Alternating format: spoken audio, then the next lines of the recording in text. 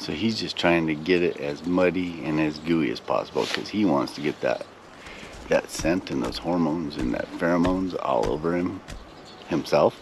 But then the cows want to get in it just as much as he wants to get it all over himself.